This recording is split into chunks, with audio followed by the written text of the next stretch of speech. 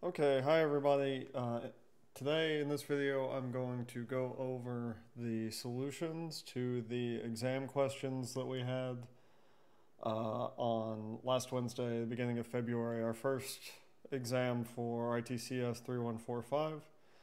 Uh, today I'm going to go through the answers, uh, the solutions, and hopefully address what the answer is, uh, why we need to actually know this or why is this information important?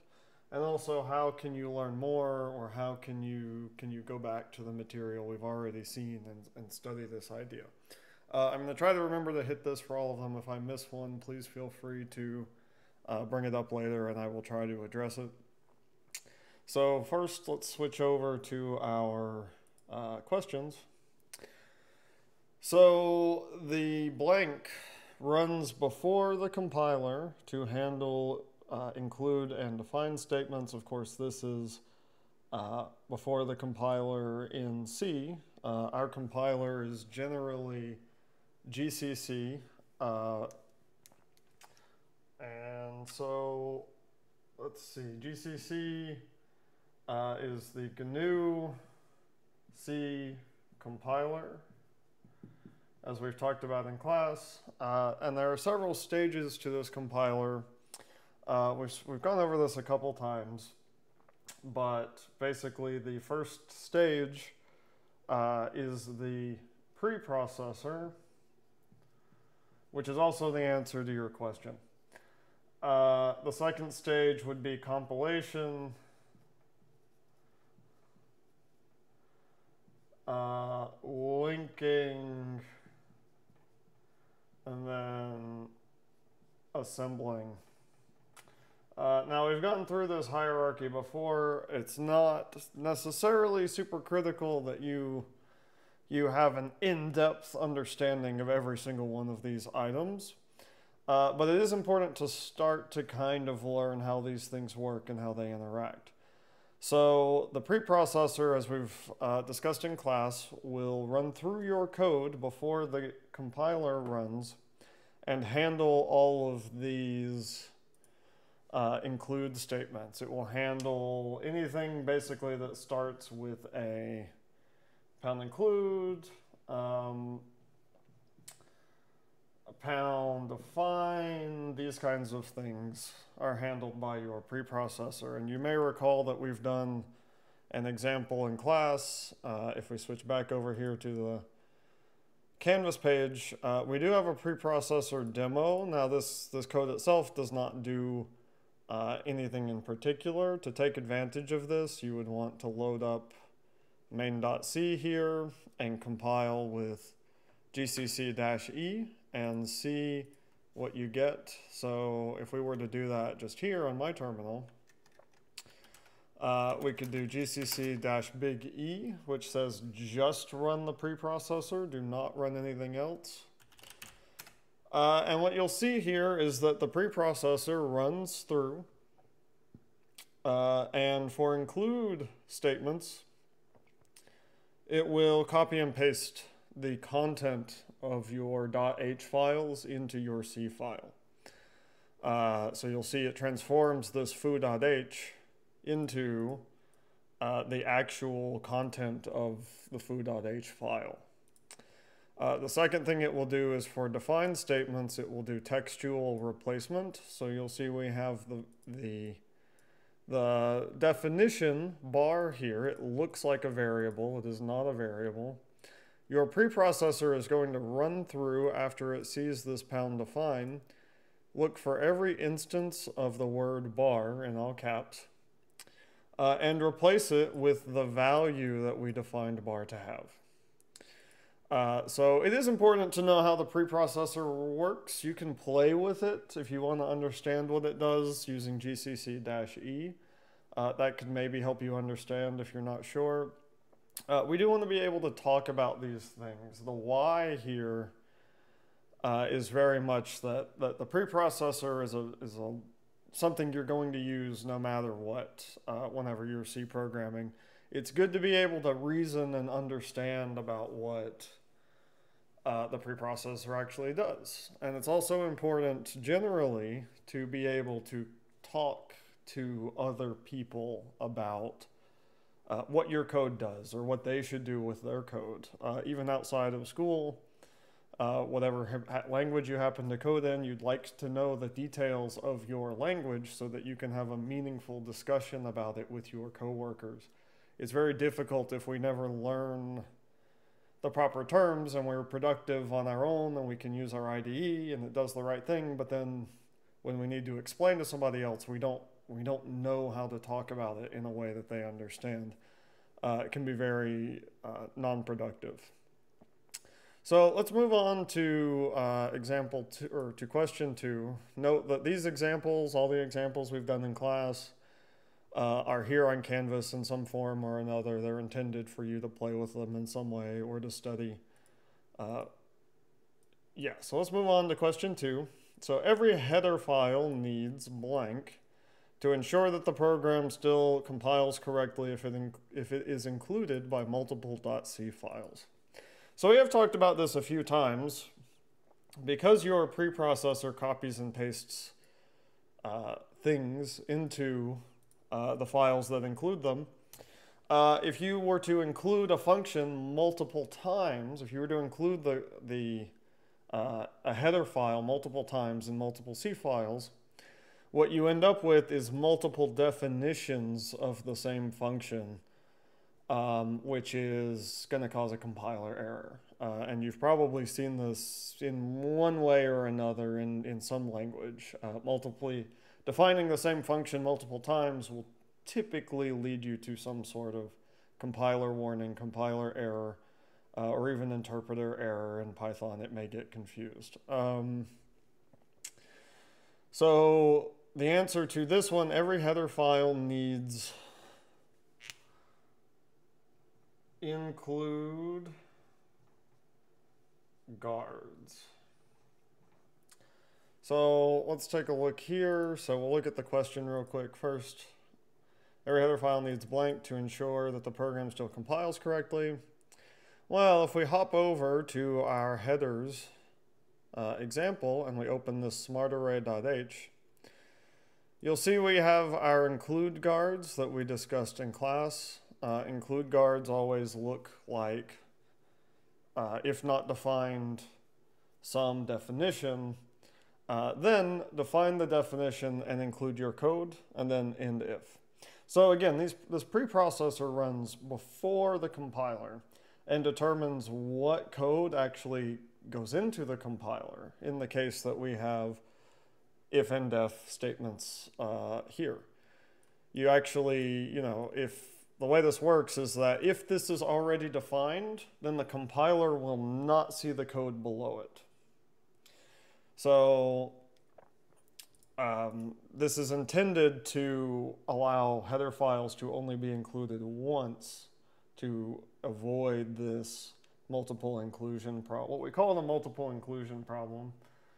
Uh, but it leads you to multiple definitions of the same functions, which are going to cause compiler errors. So we really want to avoid multiple includes by always using include guards when we write our header files. Uh, and of course, you can read more about this uh, or you can play with this example. If you combine this example with your dash E flag, it, it might help you understand if you're having some confusion about how these things work. Uh, I will take just a moment to point out the uh, page on Canvas. If we go to Home, uh, this resources for Centaurus C programming and other tools. Uh, again, I try to bring this up about once a week. This is here for you. Uh, and I try to update it regularly with things that might help you. Most recently, it seems that there was a lot of confusion about command line arguments, so I added a util or a, a demonstration of command line arguments. Uh, we've talked about debugging tools, and we'll come back to these later. But we, we somewhat regularly update this page with things that will help you. Uh, some of these C resources will talk about header files and the preprocessor. Uh, we can also jump over here really quickly to just see our, uh, you know, one of any, any number of examples of the steps of C programming so that you can, this is something that is Googleable. This is something that you can do some research into if you want to see more. Uh, but you'll see any one of these figures basically comes to the same conclusion. We don't want to watch a YouTube video right now, but source code, preprocessor, compiler, assembler, linker. Preprocessor runs before the compiler. Okay, so let's move on to the next question. So we'll write a line of code demonstrating the declaration and heap allocation of a 10 element array of type float in C. So we will jump back over here real quick, and in fact I will just move to this side of the board. So a few things. So first off, you, you can consider them in separate parts. So write a line of code demonstrating the declaration of a 10 element array of type float in C. Uh, the declaration itself uh, does not need all of this information, but the allocation does. So let's go ahead and flip over to our whiteboard. So the declaration of a 10 element array of type float, uh, and we know it's going to go on the heap, can just be float star x. That is a declaration. Uh, now I did ask you to write, so that is the first part of this, is the declaration. Uh, the second part is the heap allocation of a 10 element array. So there's a few pieces to unpack here.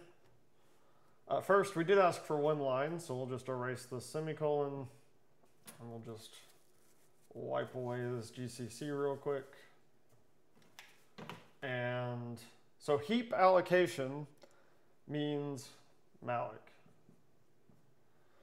Uh, it basically just does. There are other, there are a few other ways to get heap memory, but generally we've talked about this as malloc.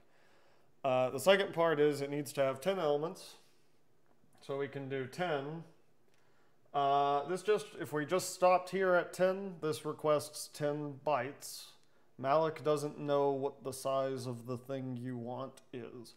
So we have to tell it 10 times the size of uh, a float.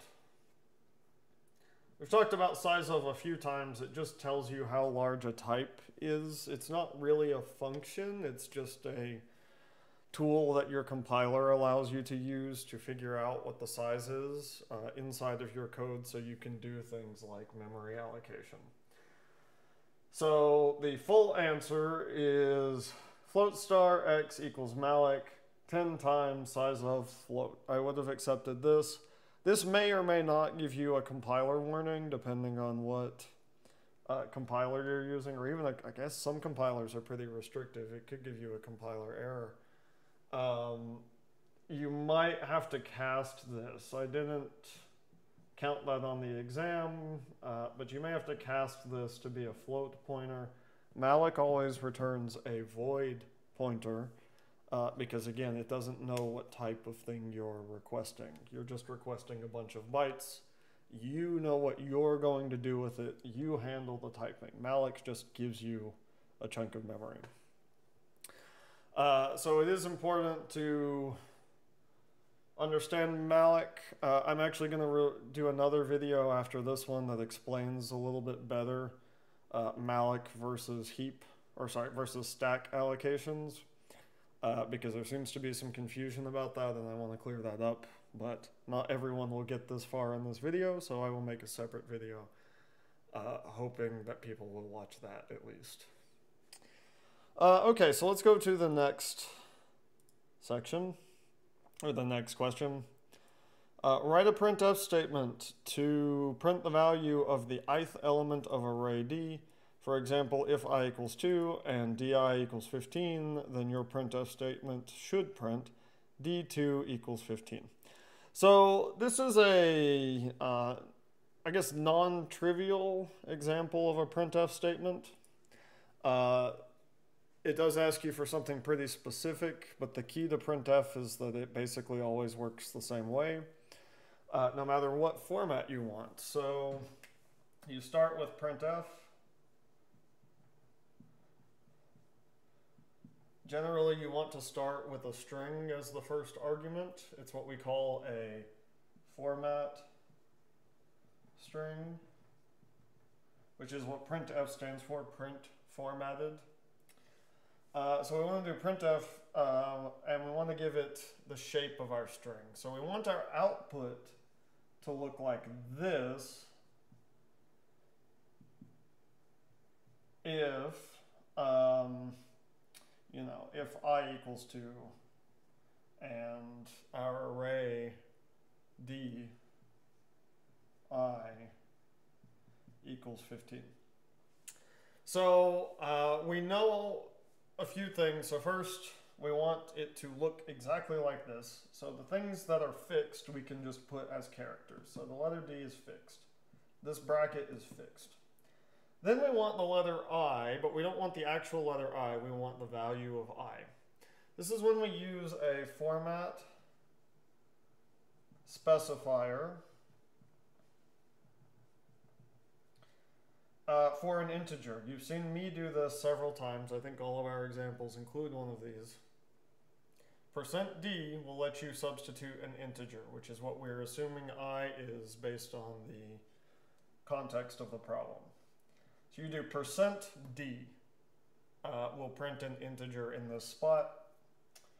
Uh, then we want to do an actual equal sign, and then the question is what does what is in d, i, and so we do another percent %d, again, we're assuming it's integers because the type here is integers, uh, or at least the example shows an integer. Uh, so percent %d would be true if it's an integer. Uh, if it was a long, you would use percent %l. If it was an unsigned integer, you would use percent %u. Uh, I would have taken any of these that fit the context of the problem because I did not give you the types, but I did give you an example. Any matching type uh, would be fine. Uh, basically anything but percent %s and percent %p and these things that are just for different types will do it.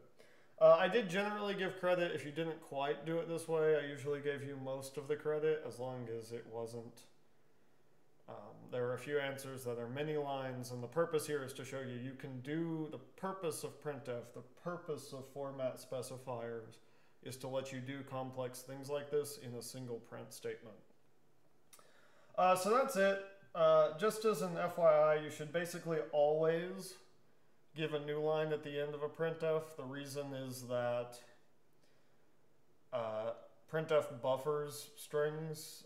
Um, hopefully you know what that means, but if you don't, it's fine. Uh, it just means that your, in this case, it means it's going to save up these strings and until it sees a new line, and then it will print them to the screen. If your program crashes, if you get a seg fault, before the next new line, your print statement may not actually print. So you generally want to have new lines just to make sure that your printf actually prints. Uh, there are rare cases you don't use it, but at least in this class, you generally would want to be using new lines on every single one.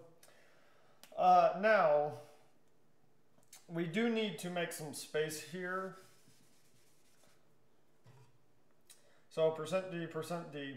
For each format specifier, you need to give the matching argument. So we give comma i, comma d, i. And this will print whatever we asked for. This will print what we asked for. Uh, you have to have a matching argument for each percent, percent whatever, each format specifier. Okay, uh, let's switch back over to our questions and go to the next question. Write the function prototype for main, including the argument counter and argument vector. Uh, so you should have seen this by now in your assignment. Uh, we've also talked about uh, the format specifiers quite a bit. Or sorry, not the format specifiers, but the function prototypes. We've talked about how we need to define these in um, in our header files, so we can do that. So uh, the function prototype again is just the header of the function. So int main, uh, this is worth about a third of your points if you got this far. Then you need a type and a name. So the next type would be int argc. This is how many arguments we have, argument counter. And then there are a few formats that you'll see this appear in. Uh, I think this is the canonically correct one. Char star argv brackets, so an array of characters. Uh, if I'm not mistaken, this will actually work also, and it basically means the same thing. Uh, it the the bracket gives you a better indication of where the memory is stored because this is stored on the stack. Your strings are stored on the stack. Uh, but I would have given you credit for basically anything that told me uh, you need both pieces here. You need the double pointer, or you need it, it is there are two pointers involved. So anything that would have shown that even if it was syntactically correct, I saw, or incorrect, I saw a few things that were maybe like this. Uh, it's not right, but I would have given it to you because it's not that big of a deal. Um, and then the last portion of this is, do you know that a prototype ends here? The function prototype ends here. Uh, if you add brackets, you're no longer a prototype, you're a function. You are the, this is the implementation of the function. So uh, they're two different things. And I wanted to be clear about that. Okay, let's move on to the next question. So next up, uh, answer one of the following pairs. Valgrind helps us detect uh, the correct answers here are memory leaks and memory errors.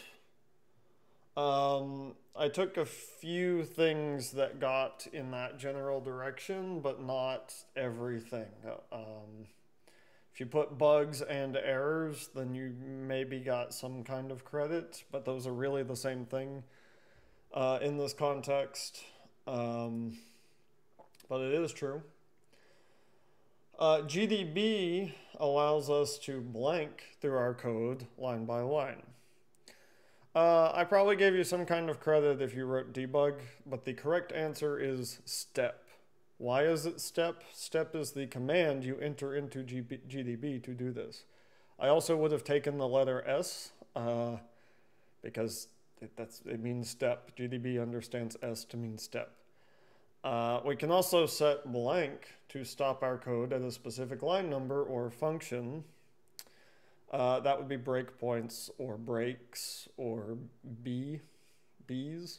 Um, anything like that I would have also taken. And if you got close but didn't quite get the terminology right, you probably got some kind of credit. Um, it's important to know at least one of these. It's actually important to know both, but it's much better to know both of these because uh, they will help you find your bugs. Uh, I know I've talked to many students who have said, I have a seg fault, I don't know what to do. And the answer is these two tools will help you. Uh, and they are not that hard to learn how to use if you have kept up with the other material in the class. Uh, so you'll notice here on our resources for Centaurus page, I've actually posted some tutorials for Valgrind. Uh, this tutorial is not long. I can't even scroll down. Uh, you can click, keep clicking through this if you want. You can keep, keep moving through and find the new pages and learn what each thing means. Uh, it is a far more thorough explanation than I can give you uh, individually. So I recommend you take a look at this. Uh, and here is Valgrind's webpage itself showing examples of how to uh, interpret this. These will help you if you need to learn how to use these. Uh, and you do because you should Valgrind your program basically every time you make a change. If you're ready to test your program again, you should Valgrind it. If Valgrind comes back with memory errors like this, uh, then you have a bug. Even though your program seems to run correctly, you have a bug. Uh, and it may not show up every time you run it, but it may show up later. Um, and that's kind of the danger, that's the biggest danger of having so much control of memory is that sometimes you can do things you didn't intend to do. Uh, likewise, there are several GDB resources here. Uh, one from another university that has some slides that walk you through ways to use GDB, all of the details, what is it for. Also some uh, walkthrough from Red Hat on how to use GDB uh, and a few different ways to use GDB. And there's also a YouTube video here that seemed useful uh, for this topic if you would like to hear somebody say these things out loud. GDB, again, GNU debugger, it is to help you debug. Uh, it is when you're, this is the first thing you should turn to, uh, maybe it is the first thing you should turn to, period, but uh, if your basic printf statements are making things weird, then GDB or Valgrind is a good are good tools to turn to. Okay, uh, so let's move to number eight, and then we'll take a quick break. So number eight, how is a string represented in C? Hint, there are two details. Uh, a string is represented, the answer I was really looking for here is something that indicated um, array of characters. Uh, I think generally if you put char star or char bracket, I mostly gave you credit, although what I was really looking for again is array of characters because this is asking you how it's represented. Uh, but there's a second part here, which is why these are not quite correct. Um, the, the, array of characters is more correct. Uh, the second part here is that a string is a little special. A string is a little different than just an array of characters. A string, a C string, always ends in a null terminating character. Uh, this null terminator is how we're able to print strings without knowing how long they are. It lets us do um, all of our, it makes all of our string operators work. And you've used this in your project, but you may not have noticed that you used it. Uh, it's also possible in your project you ran into bugs because of this null terminator. So um, that's something that you may want to consider even when you have things like this printf here. Uh, these string declarations, these um, constant string declarations, still actually have a null terminator. You just can't see it and you don't have to type it explicitly, but you still get one uh, whenever you do this kind of declaration. Okay, so very quickly we'll just look at this example of a C string. This representation is pretty good. I don't always like these Geeks for Geeks articles, but this is a pretty good one because it shows this example. And this is exactly how C strings work. Uh, you have characters in your string. There's a hidden slash zero here.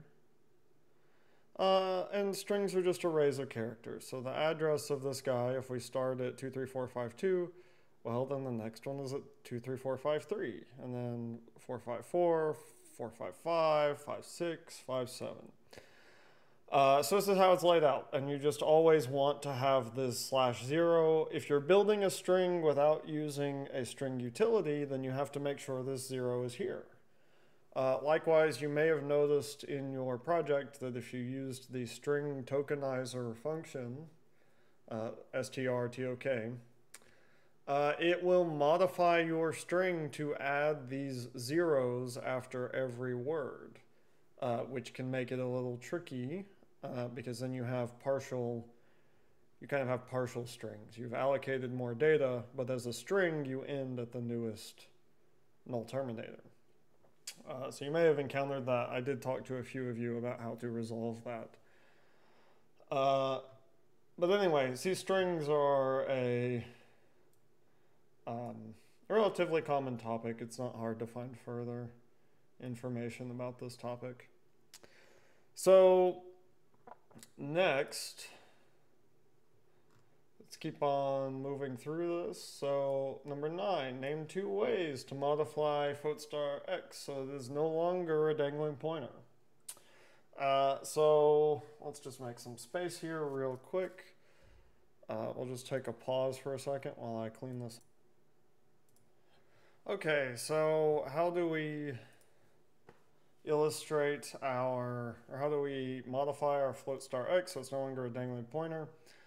Uh, we've discussed in class on a few different occasions that there are only a few valid ways to initialize a pointer. So we'll take our float star x. Uh, we, to make it not a dangling pointer, we either need to make sure that if this is used inappropriately, your program will crash, or appropriately allocate memory. So the kind of answers I was looking for are float x equals null. Uh, this is a really easy way to make sure that your program will crash. You'll get a null, the equivalent of a null pointer exception. It will be a seg fault, but it will be because you dereferenced address zero, and Valgrind will be very happy to tell you it's because you accessed zero, and you'll know exactly where this bug happened. Uh, another possibility is you write float star x equals malloc, blah, blah, blah. This will allocate some memory. X is no longer a dangling pointer. Another possibility is you give x the address of another existing variable if this is what you want to do. This will make sure it's not dangling. Uh, of course, you'd like this to actually be, you want to actually be using this correctly. Uh, it's not good to do this just because you don't want a dangling pointer. Uh, you better have a good reason to modify y as x. Um, otherwise, it would be better to just assign null. If you don't know what you're going to use it for, just assign null. Um, if you know you're going to use y, then, then make it y. Uh, I did see, I, I, got some answers that are kind of right. Uh, for example, I had some float x bracket 10, uh, and that will allocate some memory and it will subvert the dangling pointer, even though x is still a pointer, because arrays are pointers in C. Uh, it's not exactly what I was looking for, but I did give you credit for this because it does count. The reason it's not what I'm looking for is the same reason we ta I talked about arrays a few moments ago. Uh, again, I'll make another video uh, so I can complain about these arrays. Uh, but I did take this on the exam because it does fix the problem and it does show me you understand the problem here is a memory issue. Okay, so let's look at our next question. Next question regarding structs. When should you use the dot operator versus the arrow operator? Uh, so what that means is if we have a struct foo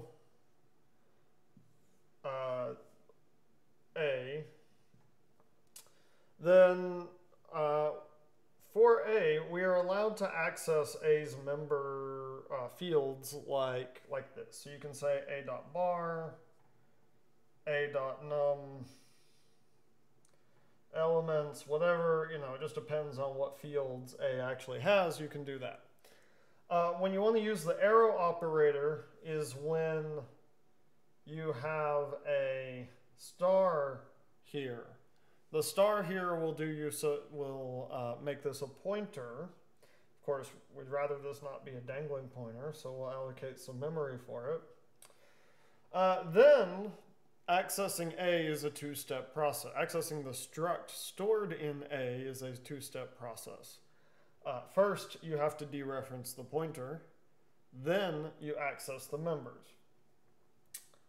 Uh, the arrow operator will do this for you. It will do both. It will do what you want to do. It is much easier. The alternative would be that you have to write star A in parentheses dot bar. These two things, this arrow and this star A dot bar, are the same thing. you should use the arrow instead. It's a lot more readable, a lot more maintainable, a lot easier to understand what you're doing. Okay, the next question. In C, we explicitly use pointers to enable two functions to modify the same memory. Uh, this is because, unlike Java, C arguments are always passed by. Uh, the correct answer for this is by value. Everything in C is passed by value. Uh, in Java, some things are passed by value, some things are passed by reference. So we can look at an example. Uh, if I write int foo, int, in fact, let's make it vo void, well, yeah, we can leave it as int, it's fine. We'll leave it as int, int foo, int x. So when you call foo from main,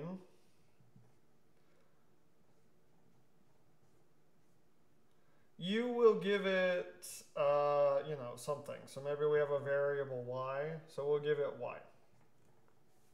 The value in y is going to be copied to x if we change x, y is not changed.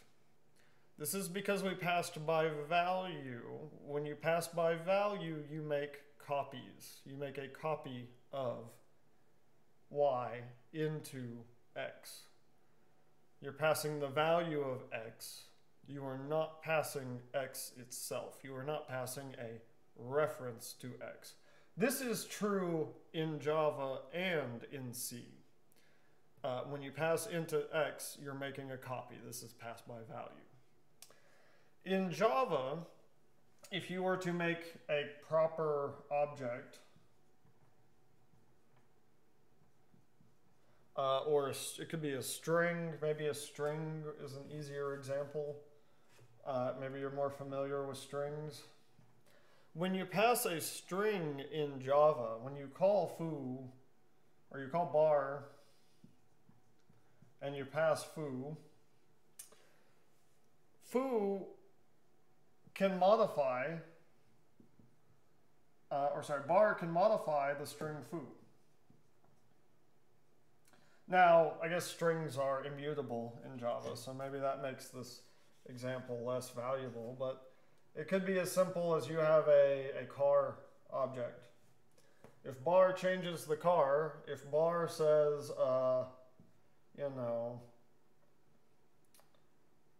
car y, it says y dot, uh, you know, there's lots of things you could do to y, but, you know, you could set y,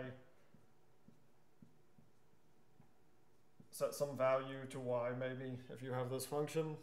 That will change y. You will also see that change to foo because these are the same thing.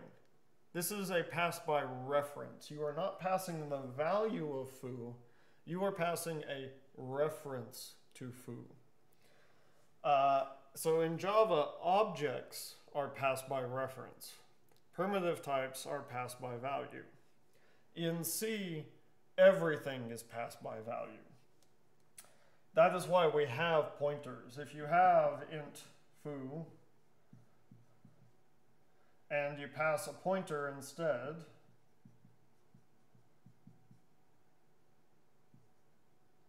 you call foo, you give it the address of y. Doesn't matter this is an integer. Everything in C is passed by value. So everything is passed by value. If we want to pass a reference, we have to do it explicitly you copy the address of y into the variable x. This is still a copy. This is still passed by value. But we did give the function foo a reference to y. We had to do it explicitly. The language did not do it for us. It is passed by value. Uh, to give maybe the memory layout explanation, because we want to keep this in mind, in Java, all of your objects live down here. So if you create a car y, it lives down here. It was created down here because you said the word new car. When you said new car, you said give me a heap allocation. Whether you're in main or you're in the function bar up here, um, y here points to this guy. Foo here also points to this guy. Likewise, in uh, C, you can use the same drawing, the same memory layout drawing, to indicate that y points down here. Uh, well, in this case, y probably lives here. And x here points to whatever y points to. It points to what y points to. So it can be a little dangerous to just put it here, but probably we assume y equals 4. And then yes, it's safe to say this points here. Um, if you malloc, if, if y was mallocked to be like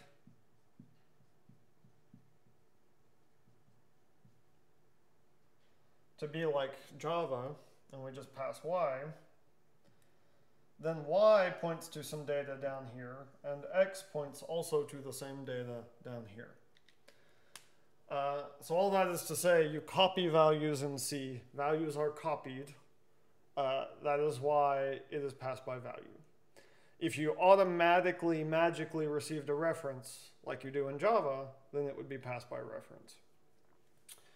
Uh, one last thing about this, just to really hammer it home, you could have a struct. And your struct could have an array of 100,000 elements as one of its members.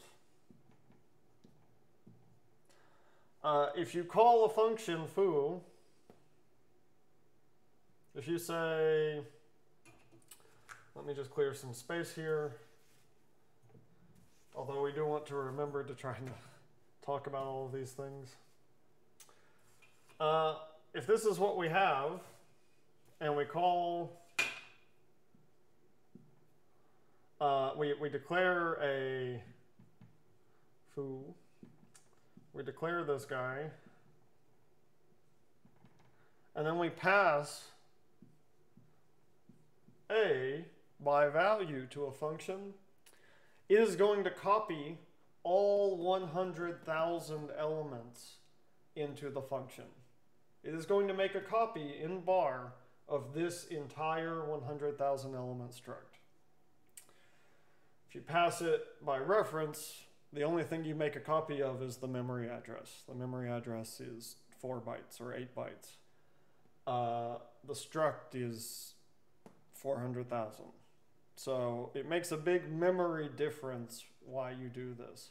So largely why we do this is to make it um, to make memory usage more efficient, but also uh, to enable us to allow other to use functions appropriately in these kinds of things. Okay, so let's move on.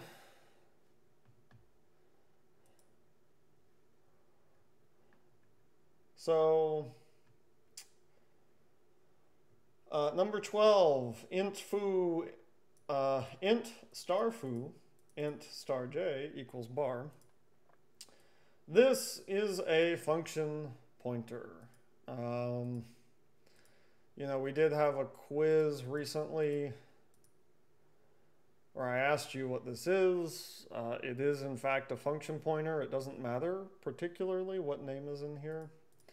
This is the correct way to declare a function pointer. So if we want to take a look at the, if we want to take a look at how this is structured on our whiteboard, we have int star foo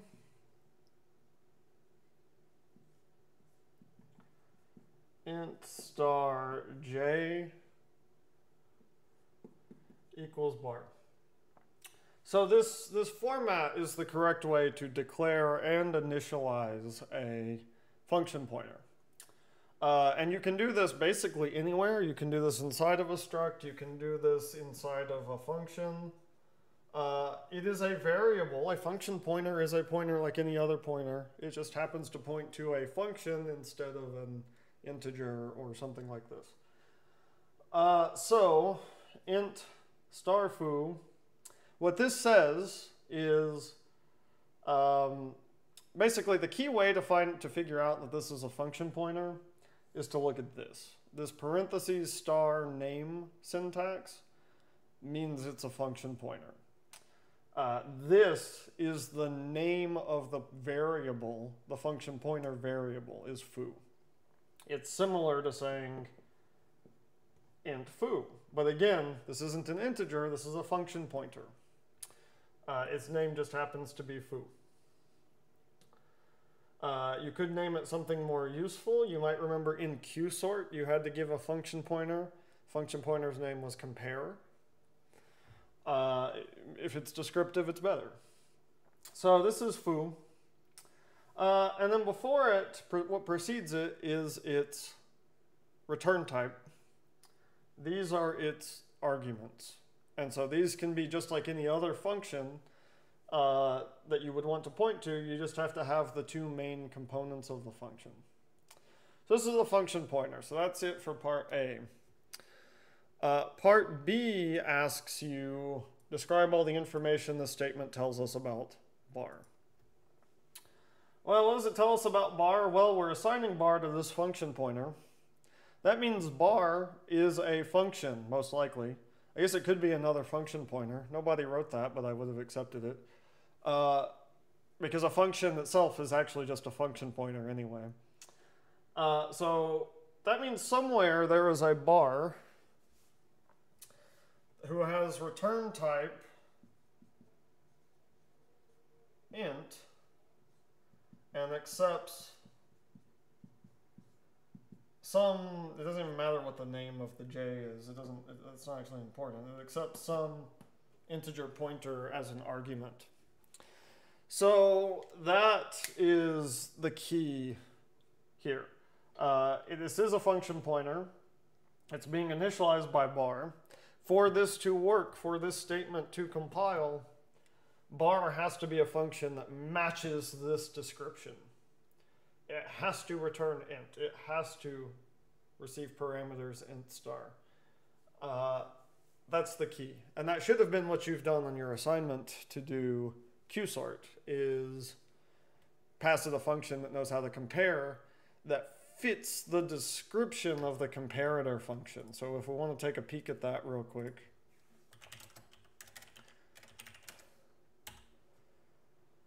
Uh, qsort takes a function pointer, you see the parentheses star compare indicating this is a function pointer, that returns int and expects two const void star values.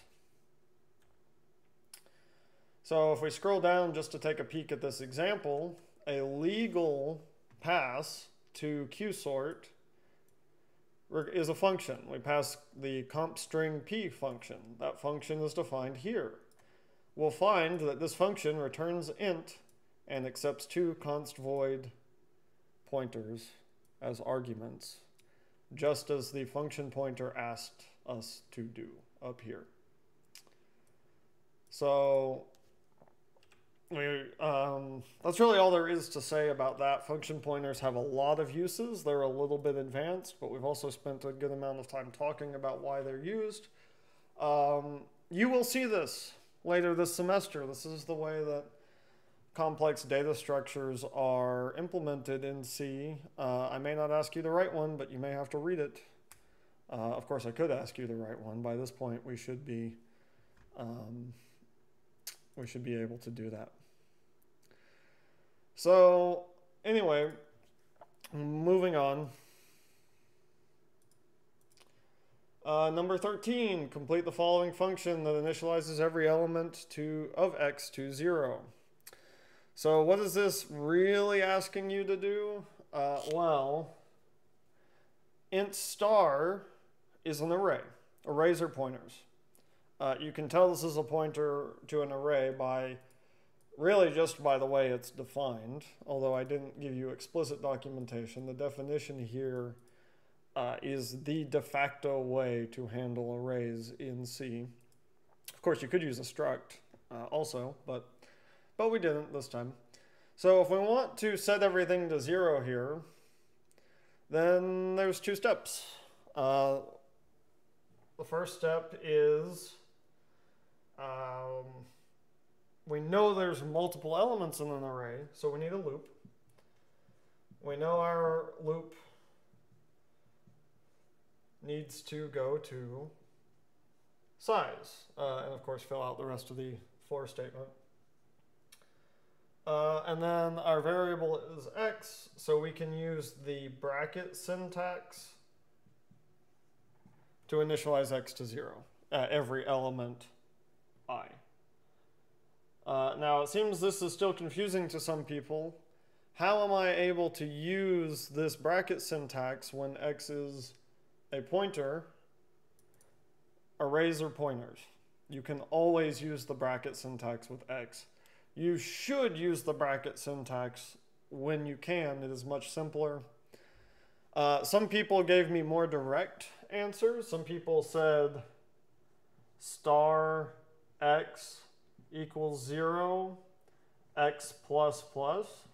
Okay, this is correct. And this is using pointer arithmetic. And you did the arithmetic correct if you did it like this. It, this works fine. Uh, I don't recommend you do it this way, though. Uh, the array syntax is simpler and easier to read and tells you more about what this does. Uh, it also is less lines of code. It's easier to maintain. Uh, there are reasons to do raw pointer arithmetic, but mostly you just want to understand this is how this works. This bracket syntax is doing exactly the same thing, but the compiler does it for you, and the compiler um, doesn't often make mistakes like that. So it, it's just easier to do it this way. Uh, it's good to understand these are the same thing. So uh, number 14, complete the function get tail that returns the last element of the linked list pointed to by head. You can assume head is not null, which just means you don't have to do the error checking. Uh, so get tail is straightforward. So here is an interesting question. Uh, I really think this question uh, is somewhat indicative of how well you're going to do in this class if you continue where you're at right now. Uh, if you got this question, I think you're generally in good shape. Of course, that you need to have gotten a good amount of points on the rest of the exam uh, because all of these things are important. But this question uh, tells me if you have a decent idea of how structs work and a decent idea of how pointers work. Uh, and the fun fact here is that, well, uh, we'll come back to the fun fact. Let's look at the solution first. So if I want to do get tail, uh, we'll just copy the syntax here. So we'll do struct star uh, or sorry, struct node star, get tail for a struct node star h. I'm just going to write h because uh, it's shorter. It's easier for me to write this much. So how do we finish this function? Well, we just want to get the tail element. And so with every linked list, you have um, you know, some head pointer, some first element in the list. This is a very low abstraction linked list. The node, all nodes are the same. There is no wrapping linked list object. Uh, so we take h, we say uh, while h next. Now you'll recall uh, we don't have to say doesn't equal null because if x is null, or if h is if h next is null, uh, null is 0, and 0 is false.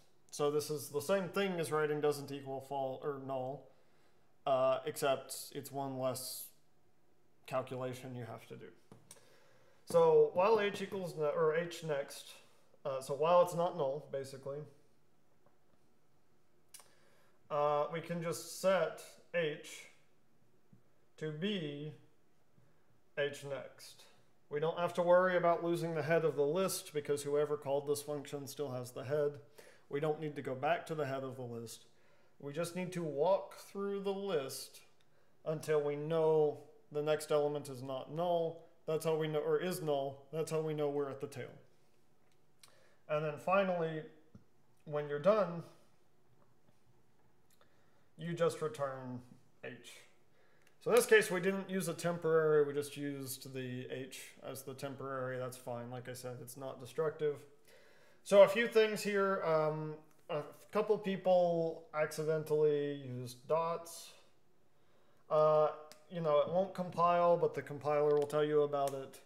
Uh, we already had a question about arrows, so I didn't take off points for this because I don't want to punish you twice for the same mistake. Fun fact, uh, this code uh, basically also works in Java. Uh, if you wrote the working Java code for this um, inside of the function, it still works. It's the same algorithm.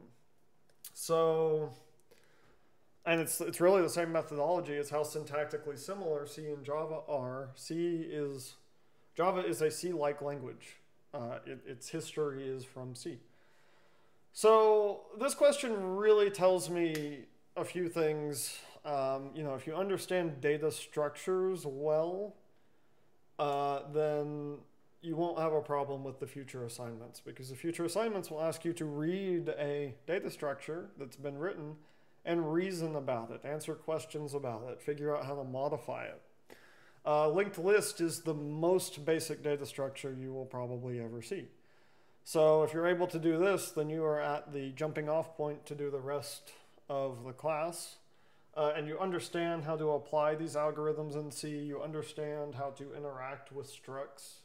Uh, you understand a little bit how these pointers work. You understand that the shape of a linked list is how the pointers are structured. The next element is here, and it points to the next node. Uh, that's how references work. That's how this is how objects work. This is how pointers in C work with complex objects that have pointers inside of structs. So uh, that's really it for this one. I saw a few other interesting solutions. I saw some recursive ones. Uh, of course, if you made a mistake, you probably lost a few points. Uh, but that was interesting to see. Um, I guess fun, fun aside, uh, when you do recursion, you call a function. So if your function foo is recursive, you get a stack frame every time you call the function. If you've ever received a bug in your code or a, a, an error in your Java code when you were learning recursion, uh, it probably said something like stack, smashing error, heap overflow, uh, some other things. There, it, really depends on what happens uh, at the time. There's a few applicable errors, but basically, what that means is that you, if you've messed up your base case and you just keep recursing forever, you use up all of your stack memory on stack frames. This is where stack frames come into play. Stack frames are not just a C thing. They are a, this is how programs are structured on computers thing. So if you run out the bottom of the stack, then you, you're out of memory, you're going to crash. It doesn't matter if it's C, doesn't matter if it's Java, doesn't matter if it's Python, this will happen. Um, so understand this is a this this is an interlanguage concept that we're trying to, to get at here. Uh, anyway, let's move on. We're almost done. Uh, number 15. What is the bug in the following code that will eventually cause it to crash? Uh, the bug here, uh, basically this is an infinite loop. I told you it's an infinite loop. It's intentional. There is no dangling pointer here. Dangling pointer would be if we never initialized the variable pointer. Uh, it, it, it, this isn't dangling. It actually has memory assigned to it. So we assign some memory. Uh, we assign a value to that memory. We go through the loop. When we do that, we lose our reference to the previous malloc. We allocate memory and we throw it on the ground.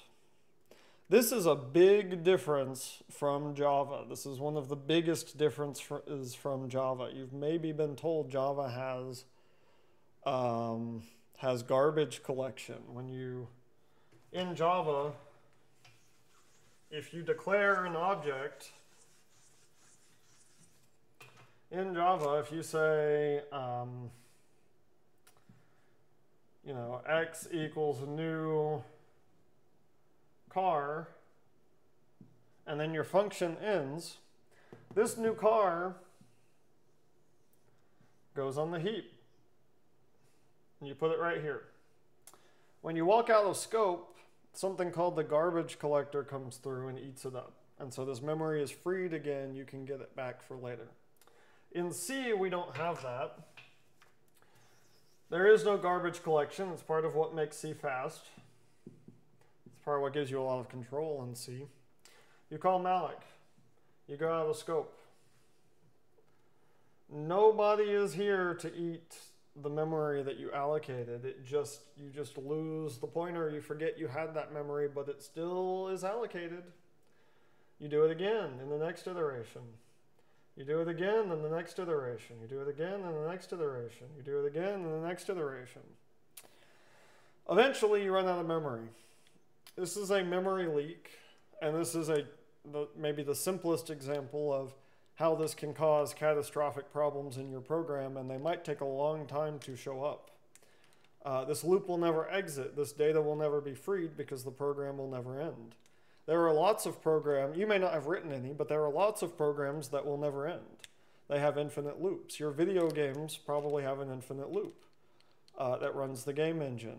Your, um, your web server has to stay up all the time. We don't reboot the web server. A memory leak in the web server will eventually cause the whole thing to come down. Memory leaks like this are often the cause of a lot of the major infrastructure outages you see at large companies. Uh, frequently, it is things like memory leaks. Uh, so, this is important to learn conceptually because this is a huge difference from things you've seen before. We do have to manage the memory ourselves. When we're done with it, we need to free it. You free X. You free the original index of X. So it has to look like this. If we change this, if we do x plus plus and you call free, this will crash your program. Free doesn't know what to deal with the, this address because malloc never gave you this address. malloc gave you an address one before this. So you need to give the original address. You don't want to lose the address that malloc gave you. You need that to free it later. Okay, one last question.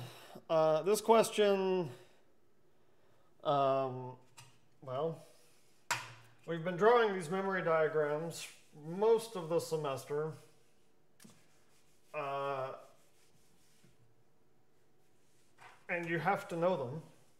And I think I've tried to make it clear that we have to know them. Uh, in fact, this exact problem was on your quiz uh, at the what at the end of January or something like this. And also we spent the following class period doing this example and a bunch of other examples of exactly this. At this point in time, you should understand the program memory layout. If you do not understand the program memory layout, you will have trouble later in the semester. So let's go ahead and scribble this out real quick. I'll leave it up while I scribble this. So uh, the memory layout always looks the same. You were given the reference for what the layout looks like. Uh, the details that we're interested in are the stack and the heap in this scenario. Uh, that's primarily what we're looking about looking at. We haven't talked about these other things as much, although you should know a function pointer probably points down here in the code segment. For this image, uh, I will just draw the heap and the stack because I wasn't expecting anything meaningful from the other components. So somewhere down here you have the heap. I'd actually recommend you draw the heap later. In fact, you don't actually even need to start with the heap. Let's just assume this is the stack. Uh, and let's leave it open-ended because one way to do this is to just walk through it. So when your program executes, assume you are the computer. Start executing your program. You start at main. Main is your first stack frame. Things that go in the stack frame are variables. Uh, now, there is a little aside here about this printf. The printf uh, has some interesting things, but we're not going to talk about them. So you do x. x is our first variable. That's the first thing we see when we're processing.